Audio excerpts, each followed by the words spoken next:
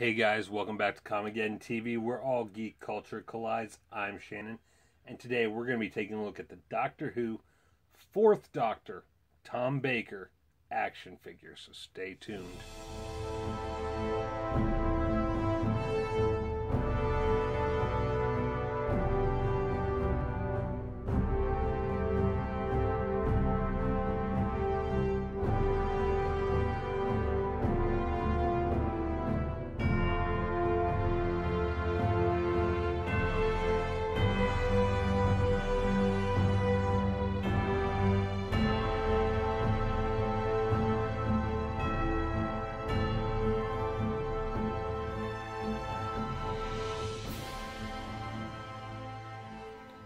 Alright, guys, welcome back. As I said, I'm Shannon, and today we're taking a look at the Doctor Who Fourth Doctor, Tom Baker 5 inch action figure. Um, I bought this for my wife last Christmas. She's already taken it out of the packaging. So we're not going to really get a look at the packaging, but I will go ahead and post it right now.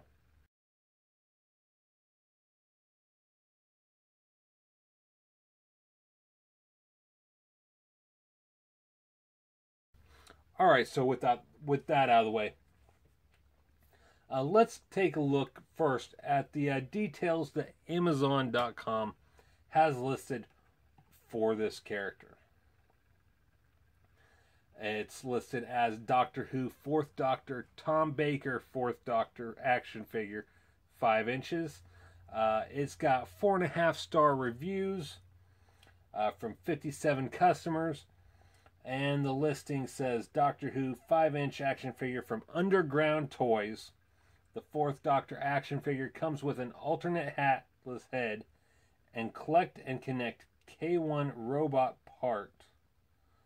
Uh, imported from the UK for ages 5 and up. Alright, guys, sorry about that.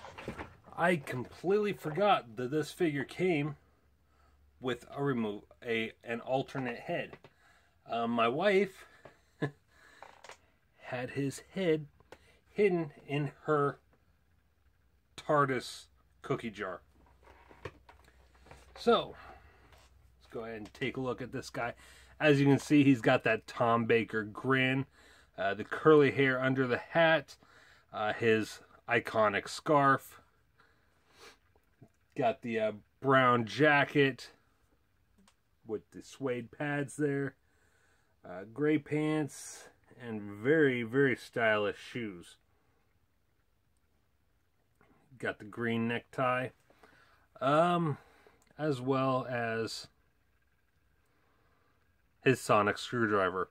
I believe this was the doctor that made the sonic screwdriver famous. I could be wrong. Um, I've never actually watched any of the Fourth Doctor uh, episodes but he's my wife's favorite. I, I honestly, I've never watched any of those. I haven't watched any of the early one, earlier ones.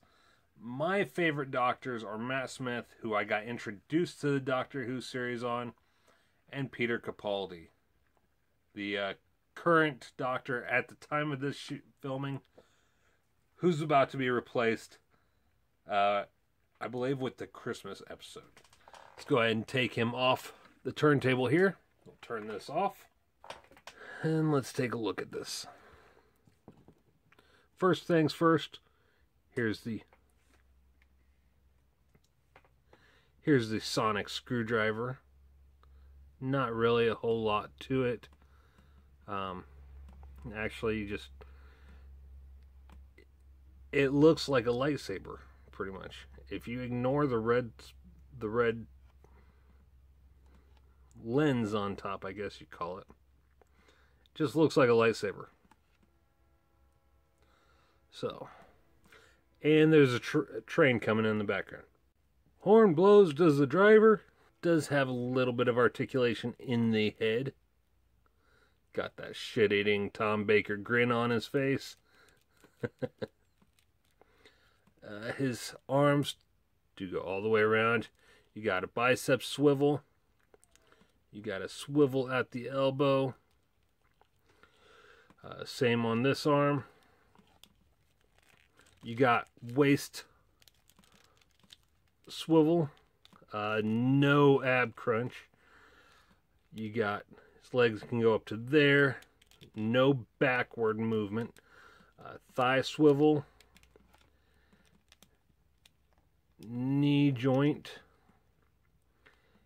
and no ankle articulation. So let's go ahead and pop his head off.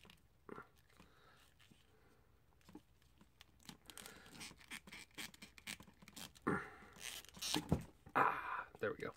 And you can take the uh, his iconic scarf off as well. So let's go ahead and do that. As you can see, there's just pops right on there. Very much reminds me of a Ken doll, the way that pops on and off of there. So, as I said, does turn around. We'll leave the scarf off for right now. I know, I know. It's not the fourth doctor without the scarf. Sue me. Very nice detail on his clothing. Uh, the jacket is made of a softer, rubbery plastic. Uh, you can't open it up all the way though, only from about that top button down. Uh, the rest of it is attached to the figure itself, um, but you can make out his uh, his vest underneath, his plaid shirt. Uh, he does. Oh, here's something I forgot. He does have wrist articulation. So that's nifty. He's got. It, it does look like Tom Baker. Very iconic silhouette. So let since since this is the fourth Doctor Tom Baker, let's go ahead and set that to the side. He wouldn't be the Doctor, the fourth Doctor anyway, without his scarf or his hat. And it is slightly difficult to pop on. But once you got it on, it's on. It's not going anywhere. The sonic screwdriver does fit very nicely in his hand, like so. Um, now, here on Amazon's website, it says he comes with a collect and connect K1 robot part. However, I'm not sure what my wife did with that part. Um, she may not have even really noticed it in the packaging. Um, I'm looking at the package right now on Amazon's website, and I don't even see it. In fact, it's not it's not shown in any of the uh, in any of the pictures either. You know how Amazon has the different pictures of what the figure looks like, what comes inside the package, and everything. Uh, they took it out of the package. It shows the main body. It shows the two heads, the scarf, and the sonic screwdriver. But that's it.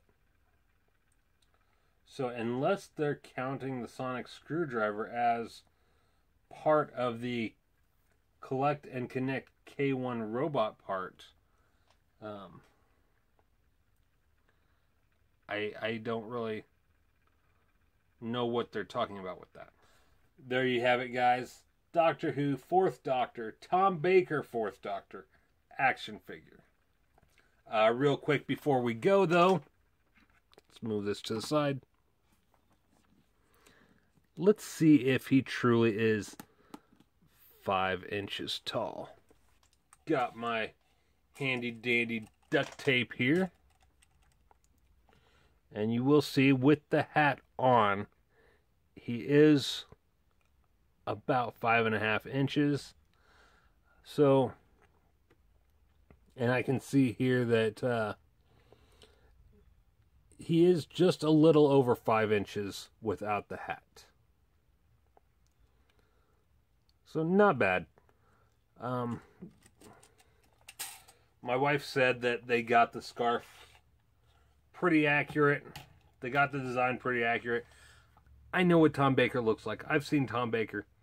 This guy looks like Tom Baker. Young Tom Baker, anyway. Sorry about that, guys. My phone, uh, which I'm recording on, came off the uh, tripod. But as you can see there, the iconic Tom Baker Fourth Doctor profile. So there you have it, guys. From Underground Toys, the Fourth Doctor, Doctor Who, Tom Baker. I'm Shannon for Comicgeddon TV. Take care.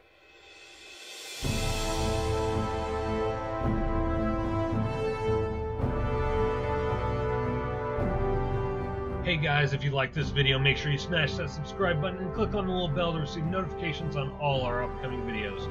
Hit the like button, make sure and leave us a comment so we know how you felt about this video. And don't forget to share with your family and friends. Until next time, I'm Shannon for Comicgeddon, where all geek culture collides.